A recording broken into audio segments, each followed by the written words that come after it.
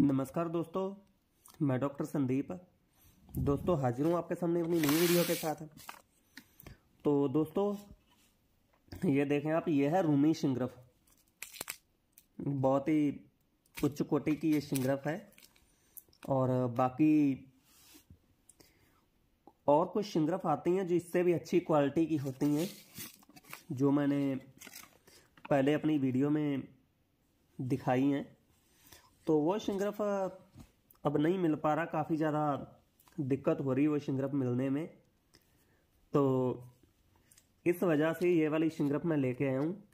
हालाँकि ये बहुत ही अच्छी क्वालिटी की शिंगरफ है, मगर जो मैं शिंगरफ यूज़ करता हूँ, वो दोस्तों कुछ अलग ही चीज़ होती है।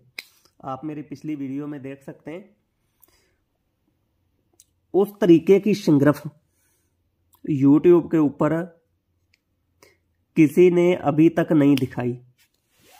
अभी तक किसी ने यूट्यूब पे उस तरीके की शिंगरफ नहीं दिखाई। आमतौर पे जो ये शिंगरफ मैं आपको दिखा रहा हूँ, यही वाली शिंगरफ दिखाते हैं और या फिर इससे भी निचले लेवल की। आप दोस्तों, आज मेरी ये वीडियो अपलोड हो रही है और आज से पहले की वीडियो आप देखना, उनमें आपको पता लगेगा कि किस तरीके की शिंगरफ मैंने दिखा रखी है, जो इससे भी लो क्वालिटी की शिंगरफ होती है, वो भी मैंने दिखा रखी यूट्यूब पे। और उसकी भी भजम बनाई है। उसका भी रिज़ल्ट ठीक ठाक मिलता, मगर ये चीज़ स्पेशल होती है। और जो पहले बीच में मैंने बनाई थी, वो उसके तो कहने ही क्या। तो दोस्तों, आते हैं मुद्दे की बात पे। तो आज ये योग मैं बता रहा हूँ शुक्राणुओं की संख्या बढ़ाने के लिए।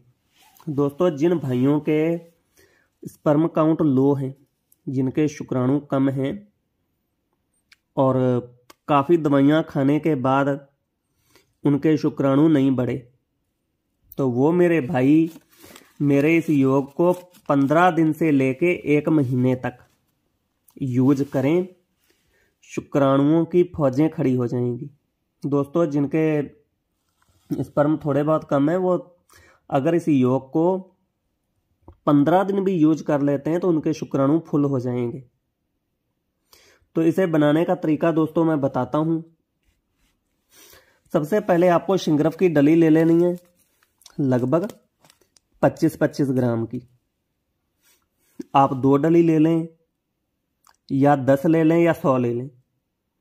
बस ध्यान ये रखना है 20 से 25 ग्राम की हो तीस की ना हो तीस ग्राम की डली ना हो। अब आपको क्या करना है? एक चीनी मिट्टी का कप ले लें और एक कढ़ाई में रेत डाल के उस कप को उस कढ़ाई में रख दें। रेत के अंदर वो दब जाए, ऊपर से बस आधा आधा इंच उसके कोने निकले हुए हों, ताकि उस कप में रेत वगैरह ना डले। अब उसके नीचे आपको हल्की हल्की आग जला देनी है और उस कप के अंदर आपको रख देना है इस शिंगरफ की डली को। आप दो ले लें, दस ले लें, जितनी आपकी इच्छा है, जितनी आप बनाना चाहें, उतनी आप ले लें। बाकी इसके लिए आपको इसमें चोआ देना है खुरपी बूटी के रस का। यानी कि अगर आप पच्चीस ग्राम शिंगरफ की भसम बनाते हैं तो आपको उसमें ढाई सौ ग्राम खुरपी बूटी के रस का चोहा देना है। आप खुरपी बूटी के रस का चोहा दें और चोहा देते रहें। नीचे आग जलती रहे, चोहा देते रहे और जब ये आपका रस पूरा हो जाएगा, उस टाइम आपकी ये शिंगरफ बिल्कुल भस्म हो चुकी है, बिल्कुल। इसके बाद आप इस शिंगरफ को तोड़ें और अपनी उंगली पे खाली रगड़ें। खाली दोस्तों, इस तरीके से शिंगरफ को रगड़ना है, इस तरीके से। आप एक मिनट ऐसे रगड़ दें तो जो शिंगरफ आपकी उंगलियों पे होगी, वो उंगलियों की दरारों में धस जाएगी। और भस्म इस तरीके की हो चुकी होगी कि इतना रगड़ने से उस शिंगरफ की चमक खत्म हो जाएगी। सिर्फ़ इतना रगड़ने से चमक खत्म हो जाएगी और यही इस शिंगरफ, इस भस्म की, शिंगरफ की भस्म की ये ही पहचान है, जो खुरपी बूटी के रस में बनेगा। एक मिनट इस तरीके से आप रगड़ते हैं, शिंगरफ का छोटा सा एक टुकड़ा लेके, जैसे ये टुकड़ा ले लिया। ये आप देखें, और इस तरीके से आपने इसे रगड़ा। सही से दोस्तों, रात का टाइम है क्लियर दिख नहीं पा रहा है ये शिंगरफ। जैसे ले ली। मैं फ्लैश लाइट बंद करके आपको दिखाने की कोशिश करता हूँ। ये शिंगरफ ले ली और इस तरीके से रगड़ी। एक मिनट। और एक मिनट के बाद उसे देखना है।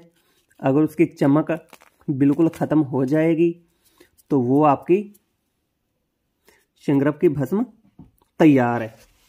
और अगर चमक ख़त्म नहीं होती तो उसमें अभी थोड़ी सी कसर है, उसे थोड़ा सा चोहा और दे दें तो बाकी दोस्तों, उसके बाद जब हमारी यह भस्म तैयार हो जाएगी तो इसमें से आपको मैं जो जिस क्वांटिटी में मैं आपको बता रहा हूँ, उसी तरीके से आप कम बढ़ती अपने हिसाब से आप बना सकते हो।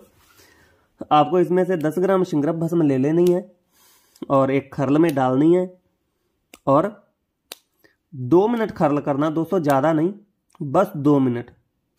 दो मिनट में इसकी चमक ख़त्म हो जाएगी और इसे सुबह शाम मक्खन या मलाई में आप खाएँगे, खाना खाने के बाद।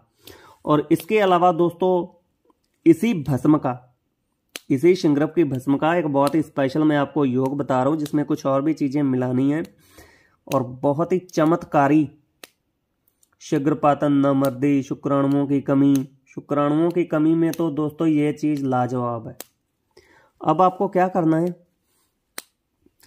दस ग्राम शिंगरफ भस्म, बीस ग्राम अभ्रक भस्म, बीस ग्राम लोहा भस्म, दस ग्राम केसर, दस ग्राम रेगमाही, पच्चीस ग्राम अकरकरा ईरानी और दस ग्राम शिलाजीत, तीस ग्राम बंग भस्म और पचास ग्राम सफ़ेद मूसली।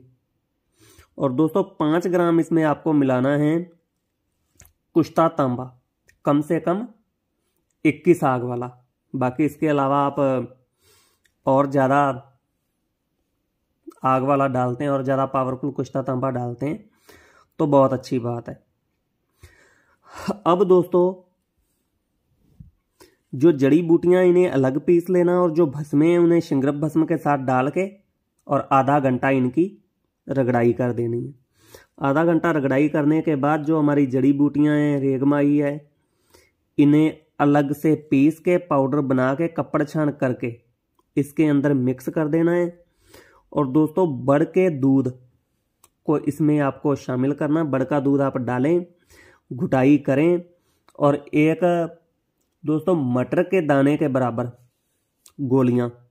आपको बना लेनी है। नॉर्मल जो मटर का दाना होता है कि उस, उतनी मोटी गोली हो जो जो आसानी से निकली जा सके, उतनी मोटी गोली आप बना लें सुबह शाम। ये आप दूध के साथ लें, खाना खाने के बाद और खाने पीने पे खास ध्यान दें। दूध, घी, दही, लस्सी, ताज़े फल, हरी सब्ज़ियाँ, इन चीज़ों का ज़्यादा से ज़्यादा सेवन करें। इसके अलावा खट्टी चीज़ें, तली चीज़ें, नशा, ये आपको इनका सख्त परहेज करना है। इसके अलावा दोस्तों सेक्स अस्तमैथन बिल्कुल नहीं करना। इस चीज़ को त्याग देना एक महीने के लिए। और एक महीना इसे खाने के बाद दोस्तों, आप मुझे अपनी कंडीशन बताना, इस दवा के गुण गाते आप नहीं थकोगे। ये वो चीज़ है। और इसके अलावा दोस्तों, ये जो शिंगरभ भस्म मैंने पीछे वीडियो अपलोड की थी तो ये शिंगरभ भस्म अभी मेरे पास अवेलेबल है। किसी भी भाई को ये मंगवानी हो तो ये शिंगरभ भस्म मंगवा सकते हैं। और बाकी इस शिंगरफ को मैं कल तैयार कर रहा हूँ और तीन चार दिन के अंदर इसकी गोलियाँ तैयार की जाएँगी। किसी भी भाई को ये गोलियाँ मंगवानी हो तो वो मेरा भाई गोलियाँ मंगवा सकता है। और जिस मेरे भाई को किसी को ये शिंगरभ भस्म मंगवानी हो ये मेरे पास कुछ बची हुई है और ये खास करके सर्दियों में ही यूज़ की जाएगी। तो किसी भी मेरे भाई को ये मंगवानी हो तो वो इसे भी मंगवा सकते हैं। और इसके अलावा दोस्तों, कुश्ता तांबा, सौ आग वाला, वो भी मेरे पास अभी अवेलेबल है दो तीन मरीजों का। तो किसी मेरे भाई को वो मंगवाना हो तो वो भी मंगवा सकता है। और बाकी दोस्तों जाते जाते मैं आपको ये कहूँगा कि आप मेरे चैनल को सब्सक्राइब करें। लाइक करें वीडियो को ज़्यादा से ज़्यादा शेयर करें। धन्यवाद।